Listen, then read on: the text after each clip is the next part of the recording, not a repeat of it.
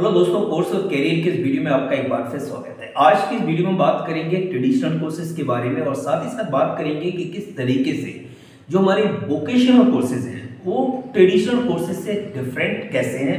और अगर हम बात करें दोनों में कंपैरिजन की तो क्या आज के समय में ट्रेडिशनल कोर्स करना बेहतर रहेगा या फिर वोकेशनल कोर्स करना? तो इस पर आज हम बात करेंगे और डेफिनेटली ये आपकी क्वेरी को काफ़ी हद तक रिजॉल्व करेगा। कई सारे कैंडिडेट हैं जिनको नहीं पता चल पा रहा है कि वोकेशनल कोर्सेज क्या हैं और ये किस तरीके से ट्रेडिशनल कोर्सेज में से बेहतर हैं और क्या ये गवर्नमेंट जॉब के लिए एलिजिबल रहेंगे? अगर हम बी वॉक कर लेते हैं तो क्या ये इक्विवेलेंट रहेगा ट्रेडिशनल कोर्सेज के? तो इन सब पर आज बात करने वाले हैं। सबसे पहले हम समझेंगे जो ट्रेडिशनल कोर्सेज हैं वो कौन से हैं। जनरली जब हम बात कर रहे होते हैं कि आ, हमको कोई ग्रेजुएशन यानी कोई बैचलर कोर्स करना है तो हम जाते हैं या तो बी ए बीएससी बीबीए है ना? बीसीए या आप बी कॉम की तरफ़ सिंपली मूव कर जाते हैं या बी टेक आप कर लेते हैं।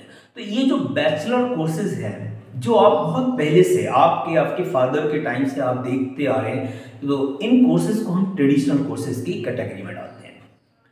अब ट्रेडिशनल कोर्सेज में कोई भी पर्टिकुलर स्किल की बात नहीं की जाती है। कुछ प्रोफेशनल कोर्सेज हैं जिसमें एलएलबी आ सकता है आपका, जिसमें आपका बीटेक आता है, जिसमें आपके एम बी बी एस आता है तो ये प्रोफेशनल कोर्सेज हैं, हम इसकी बात नहीं करें हम सिंपली जर्नल बात करेंगे सिंपल ग्रेजुएशन की।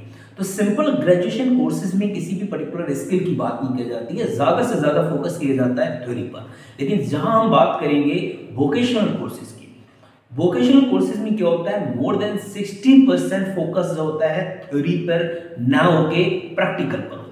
तो प्रैक्टिकल बेस्ड आपको स्टडी अगर करना है तो आप वोकेशनल कोर्सेज में जा सकते हैं। अच्छी बात यह है कि वोकेशनल कोर्स करने के बाद आप बहुत आसानी से जॉब ले सकते हैं। उसके पीछे रीज़न यह है कि आपने प्रैक्टिकल ऑलरेडी किया होता है। आप फ्रेशर नहीं होते। जहाँ पर आप ट्रेडिशनल कोर्स करते हैं, अपना बैचलर कंप्लीट करते हैं तो बैचलर करने के बाद भी आप फ्रेशर कंसीडर किए जाएँगे आपने तीन साल डिग्री कंप्लीट करने के बाद भी। यहाँ आपको ये डिफरेंस समझना है। और दूसरी बात हम करें कि अब्रॉड में अगर आपको जॉब की देखना तो वो भी आपको यहाँ पर बेहतर ऑप्शन मिलेगा बीबॉक में।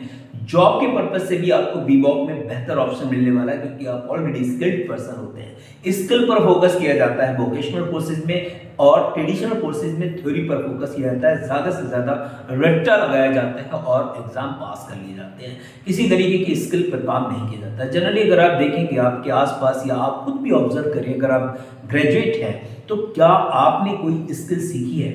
अगर आप बीए करे हुए हैं बीसीए करे हुए हैं बीबीए करे हुए हैं, आपने बीकॉम किया है बीएससी किया है, कोई खास स्किल पे काम नहीं करते हैं।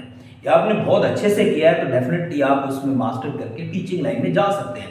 बट अगर आपने स्किल नहीं सीखी है तो वो बैचलर डिग्री आपका यूजलेस डिग्री हो जाएगी। तो इसीलिए साथ ही साथ आपको ध्यान रखना है कि आपके लिए बी बॉक बेहतर ऑप्शन रहेगा या फिर सिंपल ग्रेजुएशन तो मैं आपको सजेस्ट करूँगा कि आप बी वॉक की तरफ़ मूव करें, ये आपके लिए एक बेहतर ऑप्शन हो सकता है बिकॉज़ इसमें हम स्किल की बात कर रहे हैं।